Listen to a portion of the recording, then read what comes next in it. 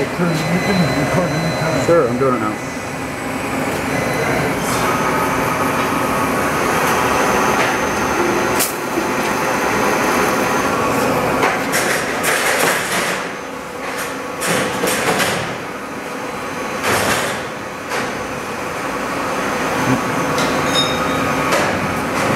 Timing is everything. Guy starts slamming a ladder the moment you start videotaping.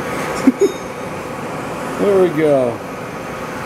All right, that's the Matsuura MC500 V2 with the Yasnac control.